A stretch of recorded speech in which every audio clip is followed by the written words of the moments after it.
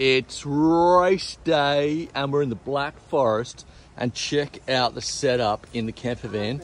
I am so prepared for race day. Check out my home office and personal viewing lounge of the UCI Downhill World Cup in Val. Let's go the Black Snake. Let's go Bruni.